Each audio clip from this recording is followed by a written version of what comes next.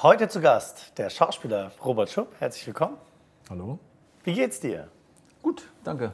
Wenn ich dich immer im Anzug sehe, ne, dann muss ich immer sofort an den Schuldirektor denken. Tatsächlich. Ja, weil du hast so eine Aura. Natürlich hast du die Ja. bei Schloss Einstein über die Jahre auch gekriegt, dann immer mehr. Das, äh, treten die Kinder mit Respekt gegenüber? Ja, schon, ja. Doch, doch, auf jeden Fall. Wie ist denn das? Ja, das ist schön. Also das ist eine ganz besondere Fanbase sozusagen ne? bei den Jugendlichen. Beziehungsweise manche sind ja gar nicht mehr jugendlich, manche sind ja schon wieder rausgewachsen und äh, ja, in ihren 30ern oder naja, eh späten 20ern. Ne? Eher so, Ja, ne? ja. Schloss Einstein gab es auch so, so lange. Du warst auch viele, viele Jahre dabei, von Ja, bis? aber nicht seit Beginn. Äh, Nee, nee, es gibt ja ich- schon über 20 Jahre. Ja, ja. Seit, ich glaube, 2006. Ich weiß gar nicht genau oder sowas. Na, du hast angefangen als, als Ja. böser Lehrer, ne? 2008 vielleicht? Ich, ich weiß es ehrlich gesagt nicht. Kann man bei Wikipedia nachlesen. Äh, angefangen als böser Lehrer und dann zum Schluss der Schulleiter. Als böser Lehrer und dann irgendwann Schulleiter und dann muss man natürlich als Schulleiter auch so andere Soft Skills entwickeln und auch mal, auch mal Verständnis haben mal und so weiter. sein. Mal nett sein, genau. Und dann aber auch mal wieder streng. Und ja, und so hat sich die Figur dann irgendwie angepasst den, den Bedürfnissen des Drehbuchs, ja. Ist Schloss Einstein denn eine, eine schöne Erinnerung? Du bist ja, wenn überhaupt, nur noch selten da, ne? Ich bin jetzt etwas seltener da, ja, weil, weil viele andere äh, Drehverpflichtungen da sind und äh, das kam sich dann öfter mal ins Gehege. Ähm, und man will ja auch mal, mal weiter Natürlich. schauen und andere Dinge machen nach so langer Zeit. Andererseits haben wir eine ganz elegante Lösung gefunden, dass ich dort ähm, nochmal befördert werde vom Schulleiter zum Schulrat. Endlich. Und ja, und äh, jetzt noch in speziellen Fällen interveniere. Sehr schön. Und wie ist es dann mal wieder ans Set zu kommen? Ja, sehr schön eben. Das ist eben das Tolle daran, wenn man so lange irgendwo ist, hat man ja dann doch selten in diesem Drehgeschäft. Ähm, oft ist man für einen Film oder vielleicht ein paar Folgen von der Serie zusammen oder auch mal vielleicht für ein paar Jahre, aber dass man so zehn, über zehn Jahre, und das sind tatsächlich noch Leute da, die schon immer da waren, das ist schon so ein bisschen Family und das ist, das ist toll. Ja. Und du hast doch in dem Rahmen viele Interviews gegeben, also für die Fangemeinschaft auch, ne? Es geht. Na, ja, da gibt es ein 20-minütiges Abschiedsinterview und eure Fragen an Dr. Berger und das ist wirklich da- ordentlich. Das wurde Abschiedsinterview genannt. Ich habe das auch nicht so richtig verstanden, aber ich bin ja noch da. ne? Ich bin ja noch der Schulrat. Wer weiß, was sie damit sagen wollten. Für so unauffällige Message auch an dich. Ja, ist schon lange her. Also äh, ich mache das noch und ich mache das auch gerne immer noch, weil das irgendwie schon was Besonderes ist. Ist auch eine besondere Serie. Keine andere Serie hat so viele jugendliche Darsteller. Ja. Ähm, und ähm, es, ja, es ist mir über die Jahre irgendwie ein Teil von mir geworden, schon, muss man sagen. Ja. Und der Kinderkanal wiederholt auch immer sehr viel. Ich habe jetzt mal Ja. geschaut, aktuell kann man vor allem eine Folge sehen, da geht's und du wirst dich garantiert an die Folge erinnern, ich schwöre es dir. Es ging darum, dass deine Figur mit einem Schüler wettet, wer die Zahl Pi deutlich weiter hinterm Komma benennen kann. Erinnerst du dich grob? Dunkel. Also, weil das Gruselige war halt, oh Gott, Pi hat ja unendlich viele Ja. Zahlen dahinter. Ja, ja, stimmt. Und ich habe so gedacht, verdammt, dann steht da wirklich im Drehbuch wahrscheinlich bis zu diesem Komma die Zahl. Und als Schauspieler sich das Ehrlich gesagt, ich erinnere mich eher Schade. nicht. Weil es ist tatsächlich so, also das habe ich sonst bei keinem Dreh, aber es ist hier tatsächlich so, dass wir so viel gedreht haben, äh, dass ich manchmal, ähm, also bei jedem anderen Dreh sieht man das im Fernsehen mal irgendwie zufällig oder so, Ja. und, oder man sieht ein Foto und man weiß, ja, ja, das war damals, da war ich in Köln, da hat es geregnet oder keine Ahnung, irgendwas war. Ähm, jetzt bei Einstein ist es so, ich, ich kann mich manchmal tatsächlich nicht mehr an den Dreh, weil es so viel war, dass ich nicht mehr weiß. Äh, Das war IMDb so. brrrt. ja, Unendlich viele Folgen dabei. Tatsächlich, ja. Ja. Viele Kinder, auch viele jugendliche Darsteller. Vor einer Weile hat mir mal einer auf die Schulter getippt in der U-Bahn. Drehe ich mich um, steht so ein Hühner vor mir. Irgendwie ein Kopf größer, mit dem ich jahrelang gespielt habe. Ich habe ihn dann an seinen roten Haaren erkannt. Ähm, aber nach und nach erst, ja, tatsächlich. Den habe ich, einen- der war einen Meter kleiner, als ich ihn zuletzt gesehen habe. Wahnsinn, ne? Ja, das ist schon Wahnsinn. schön. Aber dann sind wahrscheinlich die Erinnerungen an Eichwald MDB ein bisschen deutlicher. Die sind ja deutlich überschaubar war. deutlicher, zumal die Produktionsfirma direkt gegenüber ist von Ach, mir. schön. Ähm, die, die Kundschafterfilm und äh, ja. Ich mochte die Serie sehr. Ich fand sie sehr, Ja. sehr witzig. Hast du die zweite Staffel auch gesehen? Nein. Nein, die ist ganz anders als die erste nämlich. Sehr empfehlenswert, ist noch in der Mediathek, äh, ZDF-Mediathek und, äh, und ein echtes Herzensprojekt auch. Aber ich fand die erste Staffel schon überzeugend. Das ZDF hat, oder ZDF Neo hat sich dann ja für eine ganz kurze Pause entschieden von, waren es vier oder fünf Jahre? Ja, irgendwie sowas, ja. ja die, also im, im Sender offensichtlich äh, schlagen auch zwei Herzen äh, in der Brust des Senders. Man hat es uns dann irgendwann doch noch machen lassen. Ähm, ja, aber irgendwie, es wurde dann auch nicht so ausführlich beworben. Und, ja, aber es ist, hat eine treue Fangemeinde. Es hat eine, Auch die, ja. es hat eine äh, sehr treue und sehr, sehr eingeschworene Fangemeinde. Ich könnte mir vorstellen, dass die auch, dass die auch noch wachsen kann. Wir wurden halt auch in der Sommerpause gezeigt. Ich weiß nicht, wie günstig weiß, das war. in fünf, sechs Jahren Ja, ja. kommt vielleicht schon die nächste Staffel. Ja, das könnte sein, ja. Was hat dich denn damals überhaupt bewogen, Schauspieler zu werden? Gab es einen entscheidenden Moment oder war die Lust darauf schon immer da? Also die war schon immer irgendwie da, schon, schon, schon jung. Ähm, ist lustig, weil ich gehe jetzt nächste Woche in, in meine alte Schule, in mein Gymnasium und da gibt es dann so eine Veranstaltung, äh, wo man dann äh, noch andere Leute eingeht. Der Max Giermann, der war auch bei mir an der Schule. Oh, das war eine Und, gute äh, Schule. Wir waren, also nicht Schauspielschule, auf, der, auf dem Gymnasium. Ja, ja. Ne? Und wir sind da eingeladen, weil wir jetzt heute halt sowas mit Fernsehen machen. Und dann äh, habe ich Fotos ausgegraben vom Schultheater früher und so. Ähm, ja, das war schon immer eigentlich äh, im Hinterkopf, ja, zumindest. Und dann hat sich das irgendwann konkretisiert in meinen 20ern. Und die allererste Rolle, welche war das? Von der Fernsehkamera? Vor der Kamera, oh Gott. Das war in einem Film von Dominik Graf, glaube ich, eine Szene äh, in dem Film auf Korsika. Die Szene wurde jedenfalls rausgeschnitten, die, schön. die war nie im Film. Aber du warst auf Korsika. Und ich war im Abspann, ja. Ah. Sehr gut. Und äh, du bist auch bei Weißensee dabei gewesen. Genau. Du suchst dir ja richtig die Projekte raus, wo wirklich bam, viel passiert. Und da hast du auch mit wundervollem Dialekt sprechen dürfen. Genau, mit meinem badischen, mit meinem badischen Dialekt. Ich muss fast immer lachen, wenn Leute das so gut machen.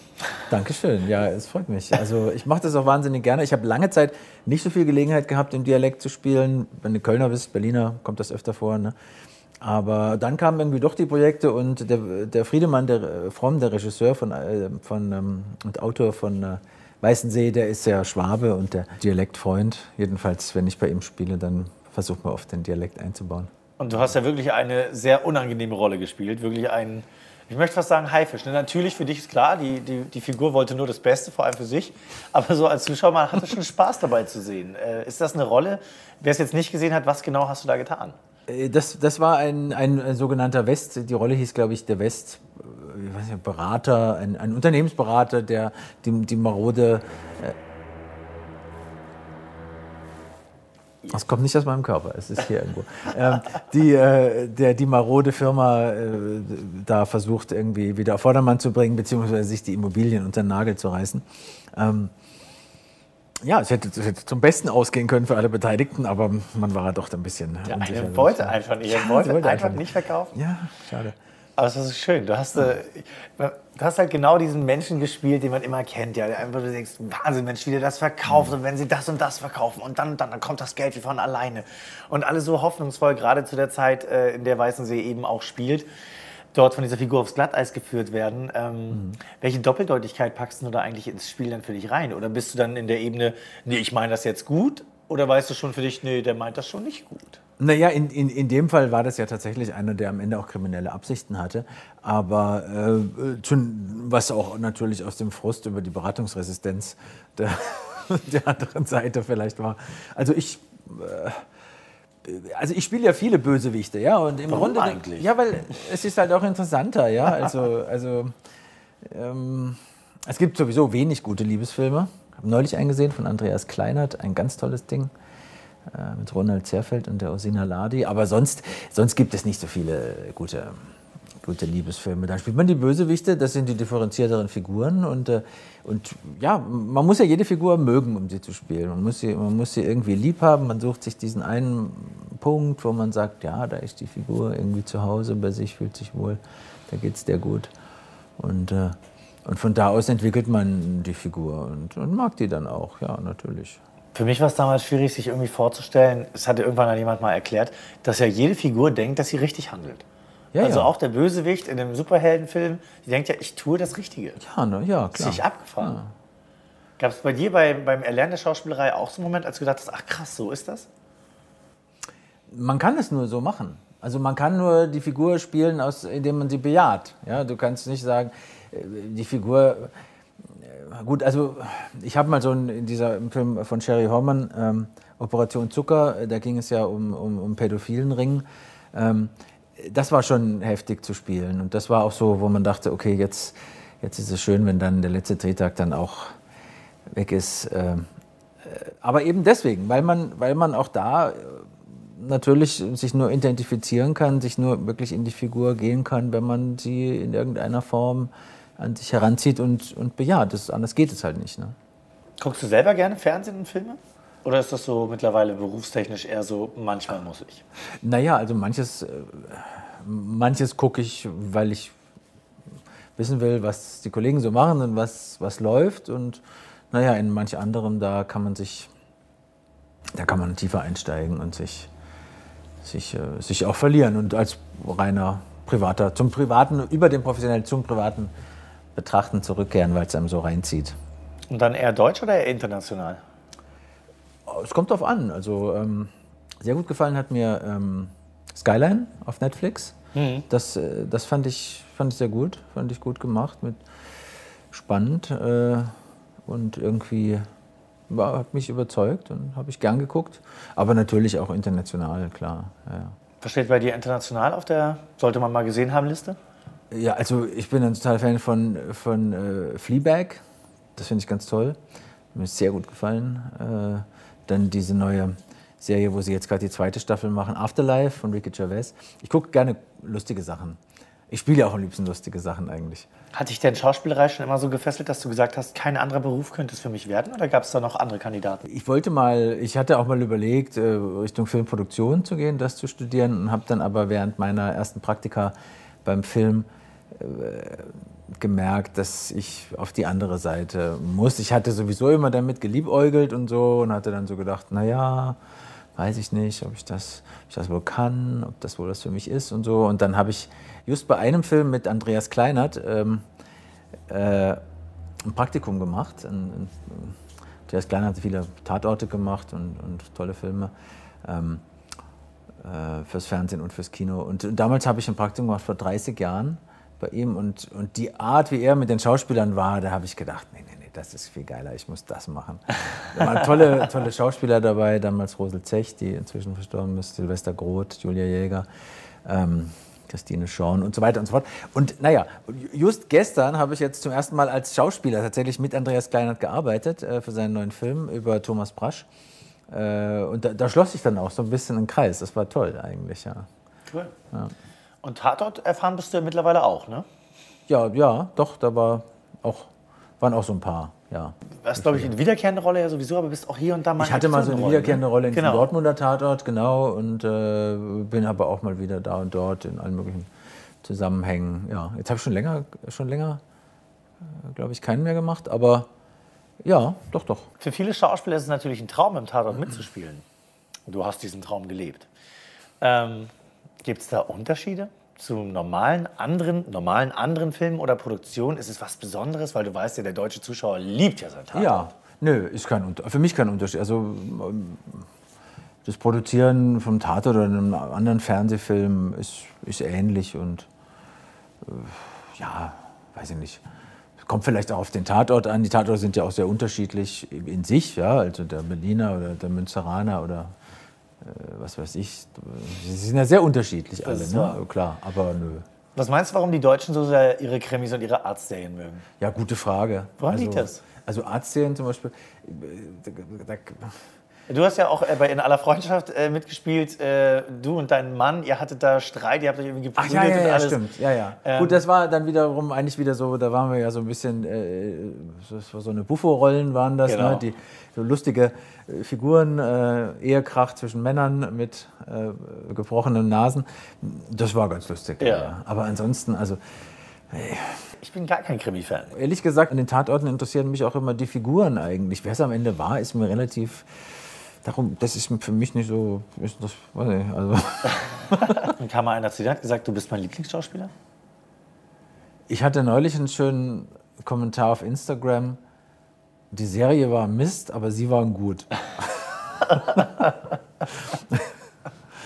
In Bezug auf? In Bezug auf die Welle, die Ach jetzt so. gerade auf Netflix erschienen ist. Ja. Ähm, aber es gab natürlich auch andere sehr, sehr positive äh, Nach Reaktionen darauf. Glücklicherweise. Ähm, das ist ja eine Serie, die sehr am aktuellen, äh, aktuellen Themen orientiert ist. Ähm, Sehr. Also allein die ersten fünf Minuten, da muss man ja schon überlegen, das ist ja so gut gemacht, Ja. sieht so gut aus. Ist das gerade ein echtes Ding, was ich sehe? Da hat, uns die, da hat uns auch die Geschichte ein bisschen eingeholt. Das zeichnete sich ab, während wir das gedreht haben, aber dass, dass das dann noch, ähm, ja, dass wir dann so nah an den aktuellen Geschehnissen sind zur Zeit der Veröffentlichung, das, ähm, das hätten wir auch nicht gedacht, glaube ich. Wer jetzt denkt, wir sind die Welle, ist die Welle, das stimmt nicht. Ne? Das ist was anderes. Nein, das ist nur sehr, sehr lose inspiriert sozusagen von dem, von dem ursprünglichen Buch und auch Film Die Welle.